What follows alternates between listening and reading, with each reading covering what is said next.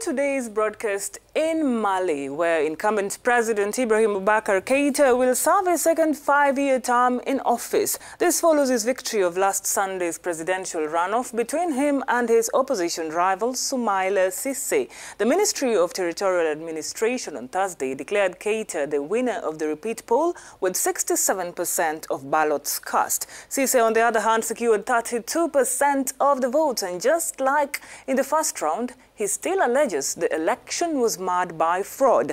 On Monday, the opposition leader declared in advance that he would reject the results and has vowed to contest the results using all democratic means.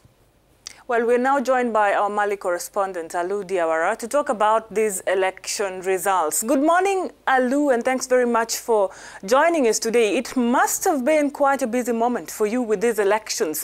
The first round, the second round, and the official results are finally released on Thursday, putting the incumbent president, Ibrahim Boubacar Keïta, in the lead. But what can you say about the whole process? First, the President Ibrahim Boubacar Keïta won by a big margin, 67%, against 32% to his opponent Soumaïla Cissé. This score shows all the same that Malians are still as enthusiastic for him as they were in 2013. In 2013, he was elected with 77% of the votes. He was again facing Soumaïla Cissé. Soumaïla Cissé improved his score in the second round of 2013. He obtained 22%. This time, it's 32% of the vote. The other lesson is that the participation rate is low, 34% compared to 42% in the first round in July and 45% in the second round in 2013. This rate makes analysts here say that the first political round, people were more eager, because during the second round, 66% of registered voters did not come to place their ballot paper into the ballot box. This drop in the participation rate can be explained by Malians' lack of interest in politics. Also note that the vote took place this year in the middle of the rainy season. 80% of Malians live in rural areas.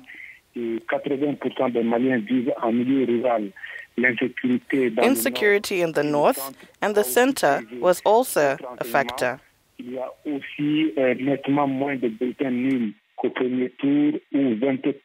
Another lesson is that there are far fewer draws than in the first round, where 24 candidates were in competition, estimated at over 200,000 in the first and 85,000. Alou, what has been the reaction from the two camps after this announcement was made? Ibrahim Boubacar Keïta's camp and that of his main challengers, Soumaïla Cissé. On the side of the winner, Ibrahim Boubacar Keïta, he is celebrating his victory. For his party, their candidate was the best in every way. Immediately after the results were announced, young people came out in a procession with portraits of the president displayed on vehicles and motorcycles. IBK's campaign director was delighted with the victory and thanked all the activists and Malians. Supporters of the opposition opposition leader Soumaïla Cissé was rather angry. They denounced his results. For them, these are fraudulent results.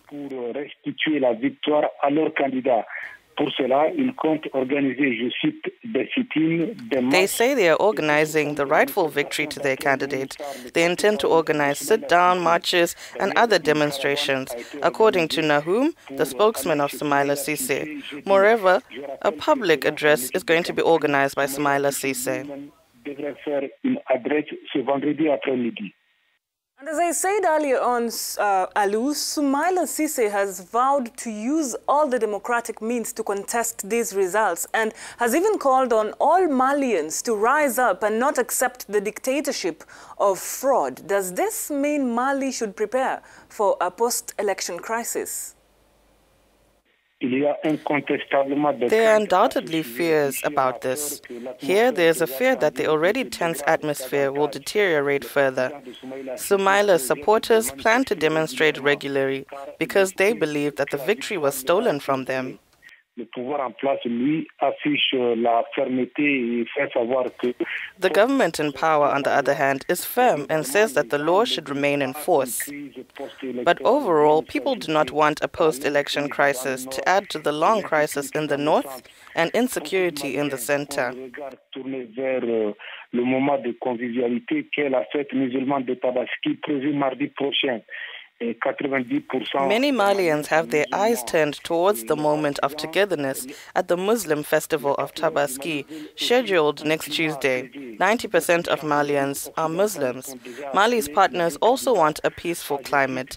Many Western chancellors have already called on both can candidates to settle disputes through legal channels. Internally, religious, traditional, and customary leaders are called up for the message of peace.